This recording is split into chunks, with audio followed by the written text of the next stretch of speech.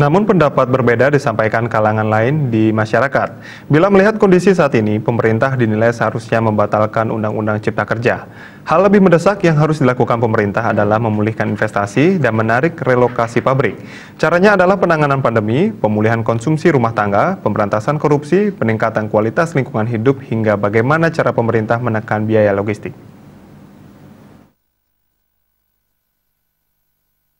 Ekonom dari Institute for Development of Economics and Finance Indef, Bima Yudhistira menekankan, untuk mempercepat pemulihan ekonomi pemerintah fokus pada penanganan pandemi. Kemudian pemerintah disarankan untuk membatalkan Omnibus Law melalui Perpu. Jika gejolak penolakan terus berlanjut, investor justru mengurungkan niat untuk merealisasikan investasinya karena stabilitas politik dan keamanan terganggu. Selain itu juga demo berdampak pada terganggunya produksi di kawasan industri. Omnibus Law Cipta Kerja sama sekali tidak mendesak saat ini. Selain karena dilakukan secara terburu-buru, Omnibus Law tidak fokus pada masalah utama, yakni masih tingginya angka penularan COVID-19. Pandemi juga hal yang seharusnya menjadi fokus. Pandemi membuat investasi kurang tertarik masuk ke Indonesia karena daya beli masyarakat sedang menurun, mobilitas terganggu, kapasitas produksi industri juga menurun.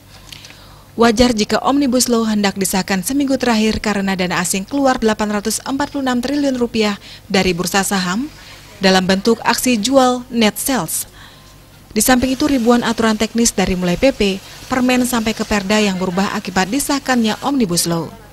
Hal dibutuhkan adalah kepastian hukum pada saat resesi. Standar negara maju dalam berinvestasi sangat ketat terkait lingkungan hidup. Jika prinsip dasar tersebut diturunkan standarnya dalam Undang-Undang Cipta Kerja, investasi besar dari negara maju sulit diharapkan. Klaster ketenaga kerjaan sendiri pengurangan hak pesangon akan menurunkan daya beli buruh. Kontrak terus-menerus tanpa batas akan membuat ketidakpastian kerja meningkat. Jenjang karir bagi pegawai kontrak pun tidak pasti karena selamanya bisa dikontrak. Bahkan dengan dicabutnya hak-hak pekerja dalam Omnibus Law, tidak menutup kemungkinan persepsi investor khususnya negara maju jadi negatif terhadap Indonesia karena investor di negara maju sangat menghargai hak-hak buruh. Bisnis Bali melaporkan.